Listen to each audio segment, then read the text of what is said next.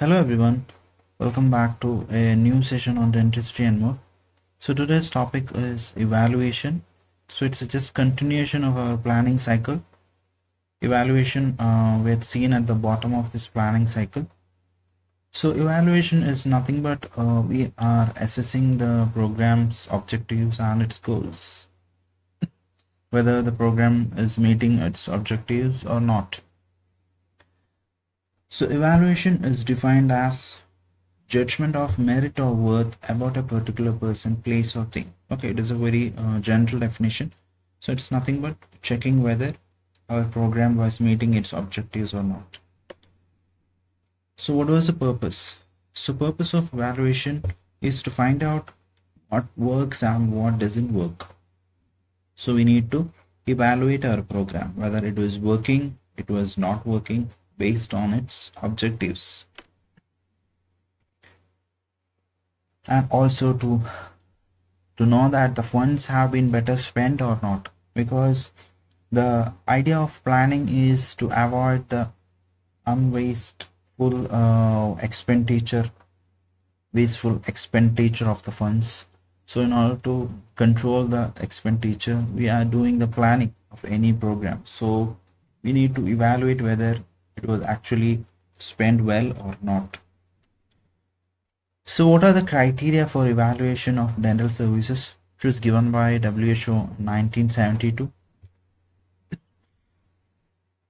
The criteria are effectiveness, efficiency, appropriateness and adequacy. Whether our program was adequate to meet its goals whether it has all the resources all the manpower all the time for this program.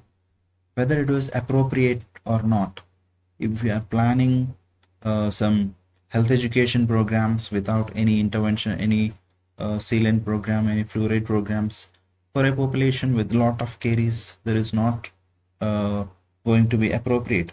Because we need to plan a program which is very appropriate for the need of the population efficiency whether our manpower and whether our uh, materials we use the resources we use whether it is efficient or not.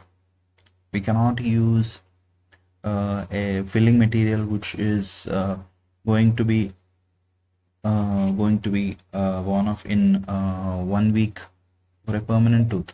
We need to keep materials which are very efficient and it should be based on the requirement.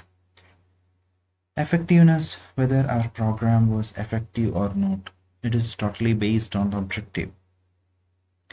So effective uh, programs will definitely meet its objectives. Efficient means the efficiency of the resources, manpower and all other things, whether they are working efficiently or not. So these are the criteria for evaluation. So all these four criteria we need to evaluate our program. So basically we have two types of evaluation that is formative and summative evaluation. So let's see what is formative and summative evaluation. So formative evaluation is also known as internal evaluation. It is a method for judging the worth of a program while the program activities are forming or in progress. So that is the difference. While it is forming or in active phase. Okay. So we will monitor how well the instructional goals and objectives are being met. And its main purpose is to catch deficiencies so that the proper learning interventions can take place. Okay. So it is the evaluation we are going to do while the program is in uh, forming stage or while it is in the implementation stage not after the program. So we can uh, think of a student's evaluation. Formative evaluation is individualized by comparison of the student's achievement during the various stages of course or curriculum. Because we keep uh, internal examinations class test and uh, personal uh, viva sessions uh, for judging the merit or the uh, betterment uh, of a student. So that is formative evaluation. So it puts the student against himself. Okay so he needs to compare to his uh, former performance not comparing with other students.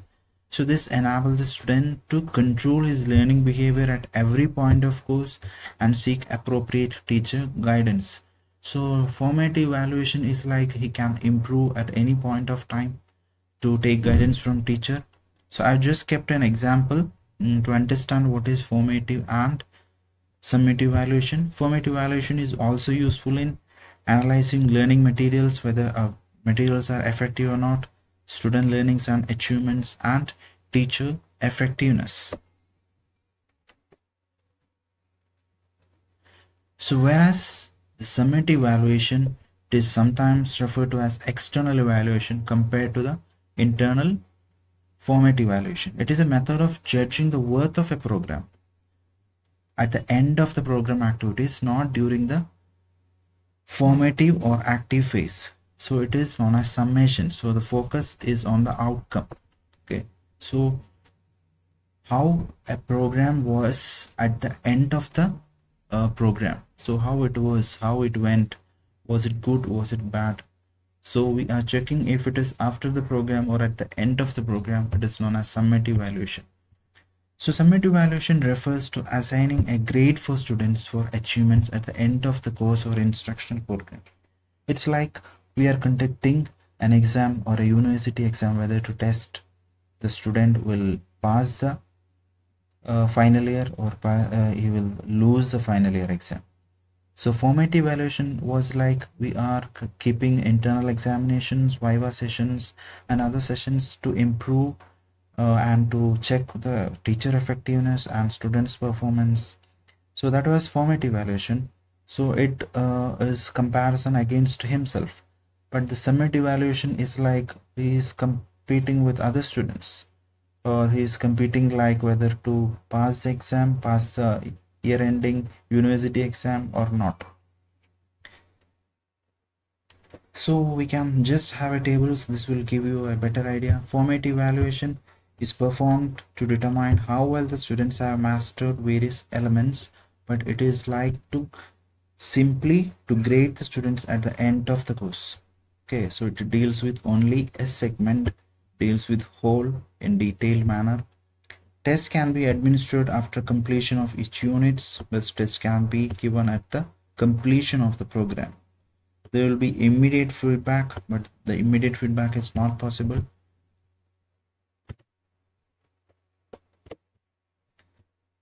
Immediate feedback is not possible. Diagnostic and progress tests can be possible, but achievement examination can be possible so weakness and strength of student can be understood here but here only the success and failure of the student so what are the phases of evaluation? The pilot phase where the program is in very nascent state control phase where it is uh, in a controlled manner where it is done on a very few people uh, with all the elements are involved and actualization phase actual implementation is happened and and fully functional operational phase. So these are the phases of evaluation and what are the elements of evaluation whether the element uh, the program uh, what we implemented relevant or not whether it is progressing uh, in desired objectives or goals manner whether it is accessible for the people whether the program is being accepted or not whether the program is efficient in meeting its goals and if it is effective or not and if it has any impact on the desired goals or not. So these are the elements of evaluation. So what we had seen phases of evaluation and elements of evaluation and few basic steps uh, like uh, we need to know what is to be determined and establishing a standard criteria. So that's all about uh, evaluation. It is most commonly asked for a short note that is four mark or uh, three mark question.